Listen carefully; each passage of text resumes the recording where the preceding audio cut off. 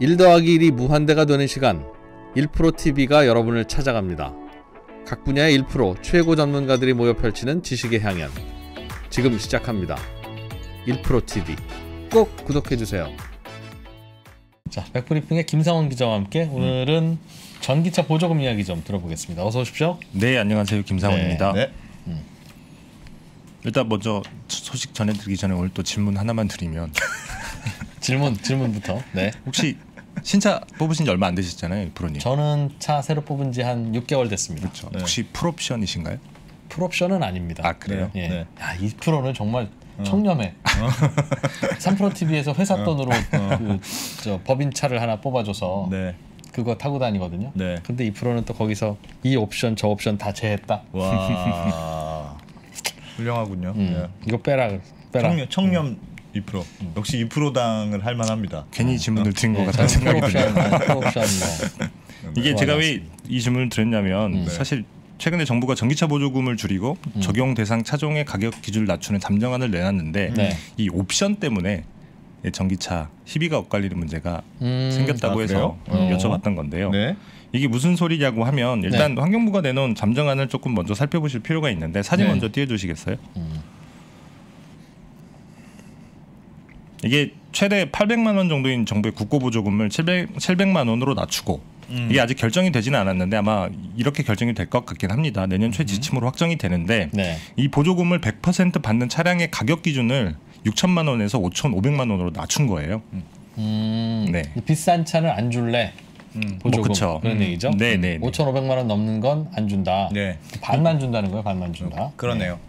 그래서 이 5,500만 원 기준 낮아진 것 때문에 문제가 발생을 한 건데 네. 네. 국산 전기차 중에 제일 유명한 게 아이오닉 5랑 EV6잖아요. 네. 음. 이게 뭐 대표 기아차. 전기차라고 할 수 있는데 지금 현재 상황으로는 둘 다 전기차 보조금을 100% 받고 있습니다. 6천만 원 미만이에요. 모든 예. 모든 모델이 모든 네. 사양이 다 받고 있는데 이제 내년부터는 바뀐다는 거예요. 사실 뭐 두 차 같은 경우에 현대기아차가 EGMP라고 하는 전용 전기차 플랫폼을 만들고 난 뒤에 음, 새로 내놓은 차라서 음. 거의 엇비슷해요. 음. 사- 사양 자체가 네. 보시면 가격도 비슷하고 뭐 배터리 크기도 비슷비슷하고 네. 음. 이게 trim이라고 하는데 네. trim별로 뭐 가격대도 비슷한데. 비슷비슷합니다. 네. 다만 다뭐 6천만 원 이하네요. 그쵸. 네. 아이오닉 5 같은 경우는 최고 사양 모델이 5,755만 원이고 네. EV6 같은 경우는 5,980만 원이라서 조금 더 비쌉니다. 네. 근데 문제는 뭐냐면 EV6 같은 경우에는 보조금 기준이 바뀌어도 어. 전 trim에서 다 보조금을 100% 받을 수 있는데 왜요? 저거 5,980만 원이면 5,500만 이제 원 그거 뒤에. 뒤에 제가 정확하게 설명을 드릴게요. 죄송합니다. 아이오닉 5 같은 경우에는 네. 이 5,755만 원 최고 사양에서는 보조금이 절반으로 뚝 떨어진다는 거예요. 내년에 저 가격을 유지시키면 그렇죠. 내년은 지금은 6천만 원 넘는 것만 보조금을 주지만 음. 6천만 원 안 넘는 거는 보조금을 다 주지만 네. 내년에는 5,500만 원이 커트라인이니까 음. 음. 내년에 뭐 연식을 바꿔가지고 이 기준을 바꿀 수 있을 것 같기는 한데 사실 음. 전기차 가격 낮추는 게 쉽지는 않을 것 같기는 해요. 네. 이대로 이어질 텐데 이게 왜 이러냐면 뭐 전기차 보조금 같은 경우는 인증 시스템을 조금 알 필요가 있기는 한데 일단 음. 정부가 이 보조금 정책을 세우게 되면 그 가격에 맞춰서 당연히 권장 소비자 가격을 정하잖아요. 네. 거기에 맞춰서 정하게 되면 이 트림이라고 한 그것별로 그러니까 세부 사양별로 이렇게 전기차 인증을 따로 받게 됩니다. 음. 그 인증을 받을 때 그러면 얘는 가격 기준에 맞으니까 100% 보조금 이런 식으로 하나씩 받는 건데 이게 EV6랑 그 아이오닉 5를 비교를 해놓은 표예요. 잠깐 사진 좀 띄워주시겠어요? EV6 같은 경우는 굉장히 좀 단순하게 여섯 개 트림만 받았는데 네. 이게 다 소위 말해 깡통 옵션이라고 하죠. 기본적으로 옵션이 들어가 있지 들어가 있지 않는 차들로 음.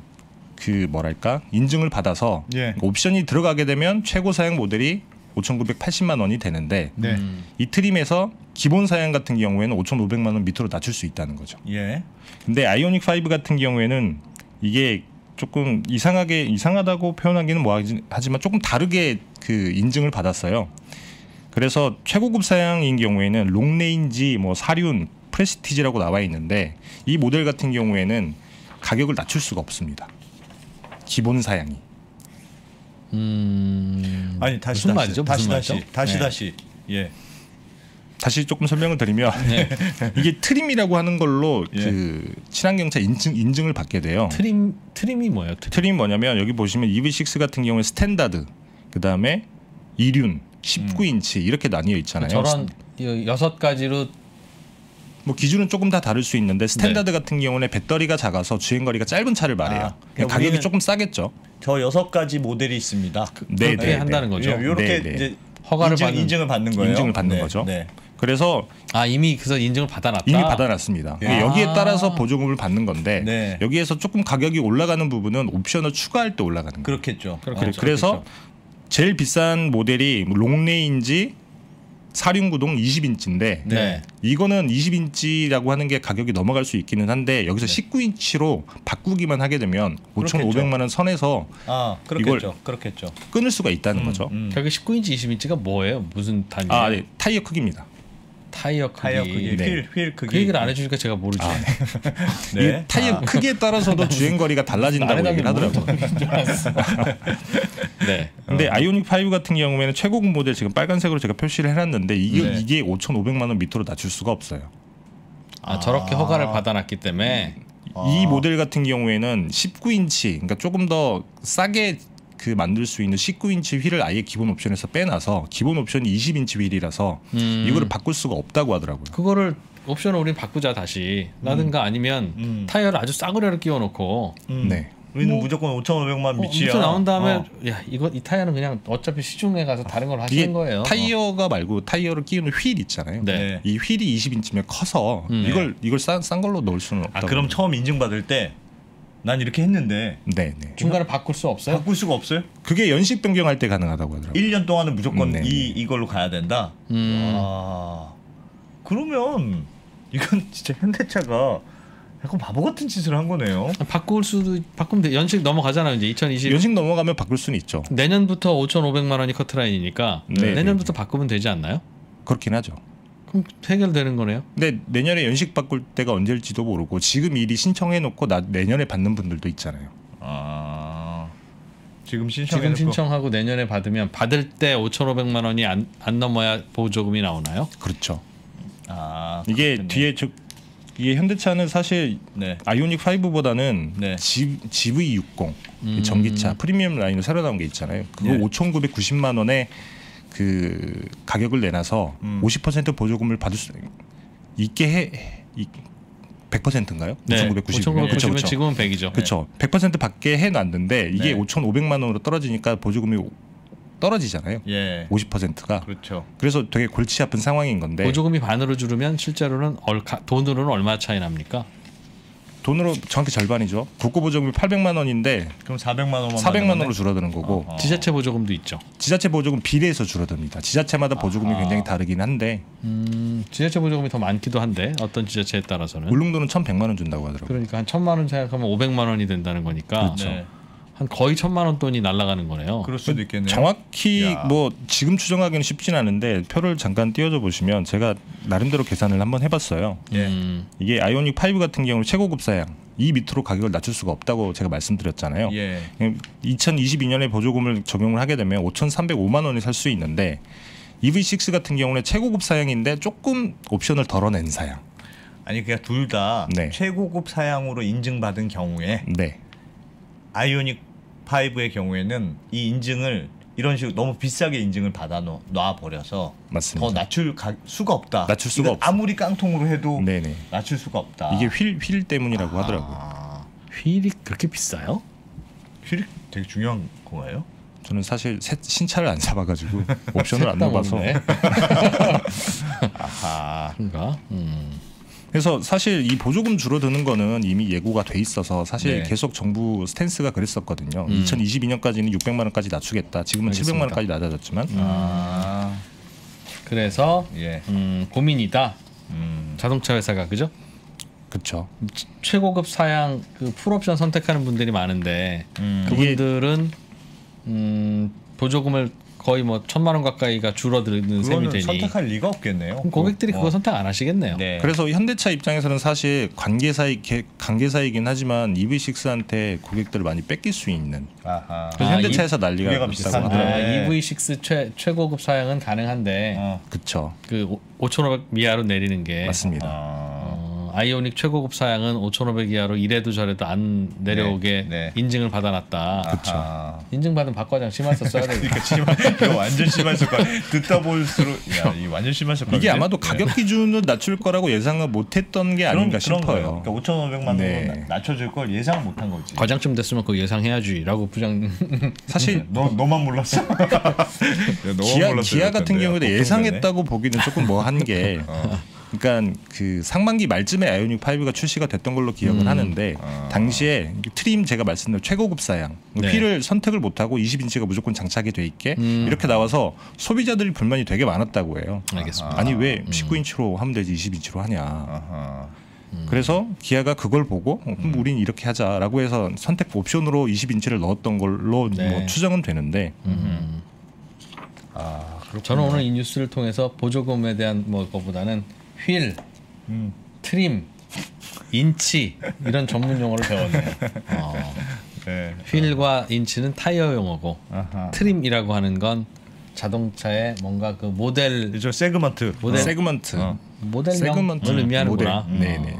이 자동차 같은 경우에도 뭐 하나만 만들 수는 없으니까 사양 그 수요에 맞춰서 여러 개 나눠서 음. 음. 만들기도 하잖아요. 옵션에 따라서 trim도 달라지고 아, 그다음에 뭐 아. 엔진에 따라서 알겠어요. 달라진다고 하더라고요. 알겠어요. 월요일에 입고 나오는 건 저의 옷은 이건 월요일 trim.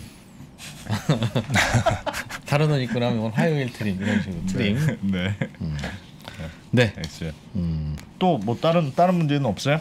그래서 현대기아차 현대차 같은 경우에만 이렇게 좀 골치가 아픈 건데 네. 외제차들도 조금 비슷한 문제를 같이 안고 있기는 해요. 외국차들. 음. 네. 외제차 같은 경우도 사실 벤츠 네. 차는 잘 모르긴 하는데 벤츠가 올해 EQA라고 하는 전기차를 출시를 해서 네. 굉장히 쏠쏠하게 재미를 봤다고 하더라고요. 음. 네. 이것도 똑같이 GV60처럼 5,990만 원 기본 모델을 5,990만 원으로 해서 아, 100% 보조금을 받았는데 6천만 원 밑으로 딱 턱걸이 맞춰놨는데. 아. 그래서 이게 조기 완판돼서 지금 살 수가 없다고 하더라고요. 예, 예.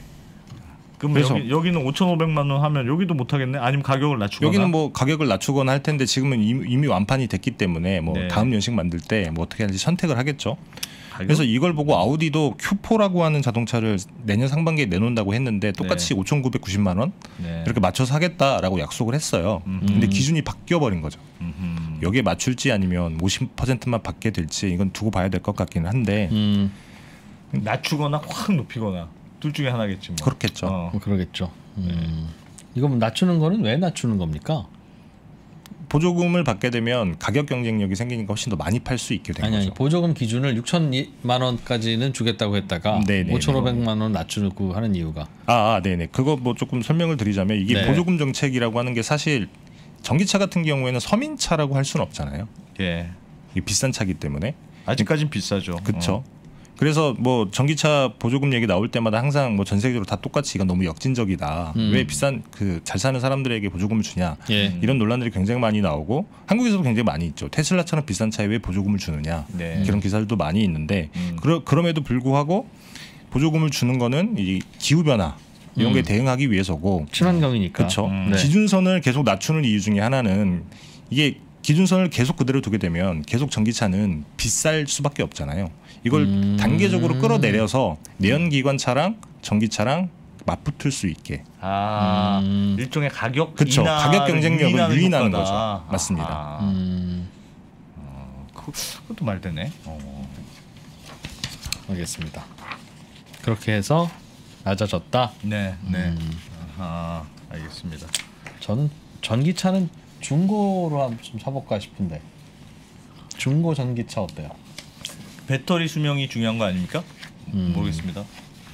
음, 요즘 보니까 그 그런 거 있더군요. 요즘은 그 사실은 3년 후, 4년 후에 음. 이 전기차가 언제 어떻게 될지 모르잖아요. 예. 무슨 무슨 얘기냐면 3년 후에는 더 좋은 전기차 나올 수도 있고. 음, 그래서 전기차를 어, 타려면 렌트카나 음, 리스로 어, 장기 렌트카로 네. 그렇게 하는 게 현명하다. 음. 그 생각하는 분들도 있을 거예요. 그렇죠. 음. 그렇게도 이- 가능한가요? 그즉 장기 렌트카로 전기차를 선택해서 네, 가능합니다. 타도 되나요? 예. 아, 장기 렌트카로 해서. 음. 예를 들면 그럼 출고되는 출고가가 5천만 원인 음, 어, 휘발유 차와 음, 출고가가 5천만 원인 즉 보조금 다 포함해서 음. 하여튼 5천만 원 내고 산 전기차는 음. 렌트카 장기 렌트카로 살려고 하면 월 렌트료가 두 개가 비슷해야 될 텐데 그렇죠. 그뭐 뭐가 뭐가, 비싸고 뭐가 싼지 잘 음, 모르겠어요. 음. 이렇게 뭐, 뭐 아, 제가 렌트 가격까지는 음. 아, 지금 중고차 시장은 굉장히 이 보조금 때문에 재밌게 돌아가는 걸 제가 조금 취재를 해왔는데 어, 어, 어떤 네. 일, 어떤 일이 벌어지고 있어요? 이게 아까 말씀드렸지만 그 지방의 보조금이 굉장히 많다고 말씀을 드렸잖아요. 네. 잠깐 표를 다시 한번 보여드리면 예. 사진 좀 띄워주시겠어요? 사진. 어. 뭐 잘 안 보이실 수도 있을 것 같은데 네. 서울이 200만 원밖에 안 돼요. 지난해 상반기엔 400만 원인데 하반기 200만 원으로 낮췄는데 저게 뭐죠? 전기차 보조금 전기차 보조금. 네, 네. 지자체가 주는 지자체가 주는. 전기차 보조금입니다. 네. 네. 충청남도 빨간색 보시면 이게 700에서 음. 1000만 원이죠. 네. 네. 충남 서산 같은 경우에는 뭐 배터리 공장이 있어서 네. 음. 보조금 1000만 원이나 준다고 하더라고요. 경상북도 1,100만 원까지 네. 준다. 경상북도 예. 울릉군이 1000만 원, 1,100만 원 얘가 예. 굉장히 음. 많은데 예. 그러니까 예를 들면 이런 경우가 생길 수 있는 거죠. 극단적으로 봤을 때는 신차 값이 중고차 가격보다 낮을 수가 있는 거예요. 아 보조금을 받으니까. 네, 네. 예를 들면 제가 올해 5,990만 원짜리 전기차를 울릉도에서 샀다고 하면 네. 보조금을 1,900만 원 받게 되는 거잖아요. 예. 그러네요. 그러면 차에 지불한 가, 가격은 3,200 대충. 4,090만 원. 네. 네, 4천만 원 조금 넘죠. 음. 중앙 정부 보조금도 있을 텐데. 더해서 더해서. 울릉도에서 아하. 사- 사게 된 경우에는 어. 음, 네. 예. 1,100만 원에 800만 원 더한 1,900만 원. 네. 그러면 한 4천만 원 정도에 사게 되는 건데 네. 근데 만약에 서울에서 1,000만 원 정도를 받아가지고 샀다고 가정을 해보면 네. 그러면 5천 사. 거의 뭐 5천만 원에 사게 된 거죠. 그렇죠. 예. 그래서 그러니까- 전기차 같은 경우에는 2년 동안 의무 운행 기간이 있어요. 네. 팔면 안 돼요. 아 그런 게 그쵸. 있어요? 어, 팔면 안 되고 팔 수는 보조- 있습니다. 보조금을 보조금을 받은 경우에. 아, 팔 수는 있는데 팔 수는 있는데 팔게 되면 저- 본인이 받은 보조금을 토해내야 돼요. 그 차를 산 분에게 어. 줘야 돼요. 아 양도해야 돼요. 네, 그러면 차, 차 가격이 조금 싸지겠죠. 어떻게 그걸- 양도를 그걸 하지? 어떻게 양도하게? 그걸 차값에 얹어버리면 그 말이죠. 그걸 음. 어떻게 양도하라고 강제하죠? 양도해야 된다고 하면 아니 그 차를 사는 사람 입장에서도 2년밖에 안 됐으니까 난 그돈 네. 못 주겠다. 아하. 이렇게 할 수밖에 없겠죠 당연히. 음, 아 쓰- 글쎄 그거야말로 그냥 수급에 따라서 뭐 결정될 근데 것 같은데. 아무튼 원칙은 어쨌든. 2년 내에는 못 팔게 돼 있다. 네네. 그런 것 때문에 아직 중고차 시장이 그렇게 많이 크진 않다고 하더라고요. 근데 양도할 수 있다는 거죠. 할 수도 있죠. 양도할 수- 그럼. 양도하겠네, 네, 그러면. 어. 근데 사실 전기차는 음. 이 배터리의 수명이 정말 중요한 거라서 네. 이렇게 막 중고차를 사기가 조금 이렇게 손이 잘 안 갈 것 같은 생각은 들어요. 음. 어. 그런데 어떤 일이 벌어지고 있어요 중고차 시장에서는? 아직까지는 뭐 그런 일이 많이 벌어지지 않고 있다고는 하는데 뭐 네. 시장 자체가 그렇게 크지 않아서 음. 그래서 여기서 싸게 사서 음, 저기서 비싸게 팔거나 음. 아, 이런 경우가 생기는 보조금 많이 주는 지자체에서 싸게 사서 네 중고차로 중고차로 팔면 그 비싸게 산 주- 중고 그 전기차들도 시장에 나오고 그럼 가격이 높게 형성돼 있을 테니까 그렇죠. 네, 네. 이게 아, 그 전기차. 지역별로 다르니까 지금은 그렇구나. 크진 않지만 음. 가격 형성 자체는 이런. 메커니즘으로 된다고 하더라고요. 아하. 그 그러네요. 서울 그러네요. 수도권 중심의 보조금을 아하. 빼는 거예요. 예를 들면 신차 가격이 뭐 사, 5천만 원이었다. 5천만 원이다. 그러면 얘가 뭐 사고 난 다음에 바로 나왔다라고 가정을 하게 되면 음. 딱 수도권의 가격 보조금 한 천만 원 정도 안팎을 빼고 그러니까 나머지를 4천에 사셨겠네. 네네. 그러니까 2년 2년 내 음. 양도 가는 건 같은 지역 내. 그러니까 같은 지역 내니까 야- 양도가 가능한 거고 음. 지역이 넘어가면 보조금이 다르니까 2년 내 팔면 안 된다. 안 이렇게 돼 된다? 있고 이렇게 돼 그게 지자체마다 기준이 다르다고 하더라고요. 그러니까 팔게 되면 같은 지역 내면 어차피 보조금을 받는 거니까 그 가격에 따라서 하면 될 텐데. 음. 이게 토해내야 되는 지자체도 있고 음. 그렇게 못하게 하는 지자체도 있고 말씀하신 것처럼 같은 지자체 안에서만 거래가 되도록 하는 곳도 있, 있다고는 아, 하는데 지자체별로 이게 다르다. 중앙 정부에서 강제할 수 있는 사항은 아닌 것 같아요. 그래서 지자체마다 다 기준이 다르다고 하더라고요. 야, 근데 이 중고차 시장 복잡하겠네요. 지자체별로 주는 게 달라. 금액이 다른데 그걸 어, 중고차를 서울에서 팔 수도 있고 예를 들면 그쵸. 아까 전에 울릉도에서 사서 서울에서 파는 경우도 있고. 그래서 지금은 중고차 시장이 그렇게 크지 않아서 지금 등록 대수가 한 11만 대 정도 되는 걸로 2020년 기준으로 네. 그 정도 되는 걸로 알고 있는데 제가 K카에 물어보니까 여기가 중고차 거래로는 그래도 게- 제일 많이 하는 업체인데 중고차 온라인 네, 맞습니다. 넘버원 K카. 네. 한번 우리 나오셨죠? 예. 지금 나와 있는 매물이 한 50개 정도밖에 안 된다고 하더라고요. 네. 아직까지는 K카에 네. 물어봐야 돼 그러면. 네. 아직까지는 그래서 이게 시장 자체가 형성이 안 돼 있어서 그런 네. 문제가 많지 않은데 음. 좀 시장이 커지게 되면 그런 문제가 많이 벌어질 수 있고 그래서 음. 국회에서도 이런 지적들이 꾸준히 나오고 있다고 얘기를 하더라고요. 그좀 나중에 알아봐 주세요. 무슨 얘기냐면 네네. 그 5천만 원 주고 산 휘발유 차와 네. 5천만 원 보조금 포함해서 5천만 원 주고 산 전기차. 전기차. 음. 그러니까 렌트카 시장에 장기 렌트카 시장에 나오면 음, 네네. 월 렌트료가 네. 어떤 게 더 높으냐? 음, 음, 그거는 뭐 뭐에 좌우되냐면 음. 3년이나 4년 후에 그 차의 중고차, 중고차 값에 가격하고 좌우돼요. 그렇죠. 아. 즉 그러니까 전기차가 월 사용료가 비싸다. 네. 그러면 아 중고 전기차가 중고차가 더 감가가 크- 감가상각이 크구나. 네. 쉽게 말하면 중고 전기차는 똥값이구나 네. 하는 걸 알 수 있고 반대로 어, 전기차가 싸요. 그건 음. 아 전기차는 3, 4년 타도 중고 가격이 높구나라는 음. 걸 알려주는 거라서 음흠. 지금 아마 렌트카 회사들이 전기차를 손님들에게 제공하고 있다면 네네. 음. 그, 그 계산 다 끝냈을 상황이라서 아, 네네. 음, 그러니 그거는 중고 가격이 어떤가 볼만하다는 거죠. 제가 한번 음. 예- 예상해 볼까요? 전기차는 중고 가격이 같은 똑같이 3년 탄 휘발유차와 네, 3년 탄 전기차가 있으면 저는 중 전기차가 더 빨리 떨어질 것 같아요. 감가상각이 어, 감가상각이 더 휘발유차에 비해서 모르, 모르겠습니다. 그럼 이제 전기차 렌트비는 더 비싸다 그 음, 말이죠. 음. 그럴 것 같다. 음. 어떻게 생각하세요? 저도 저도 그렇지 않을까? 배터리 음. 성능에 대한 그러니까 보증이 안 되니까. 어, 약간의 불안 불안감이야. 아니 음. 집에서 이게 무선 청소기 이런 거 쓰면 음. 원래는 굉장히 길다고 하는데 이렇게 조금만 지나면 잘 안 되고 막 이러니까 배터리를 갈아야 되나? 전기차 무슨 상관이 있어요?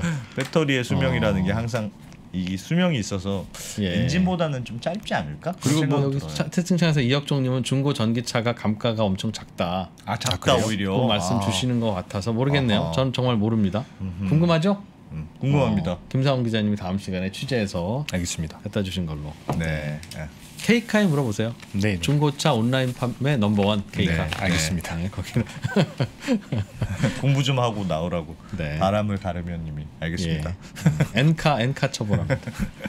케이카. 알겠습니다. 백프리즘의 김상원 기자였습니다. 오늘 여기서 일찍 마무리할까요? 네. 음. 고맙습니다. 네, 감사합니다.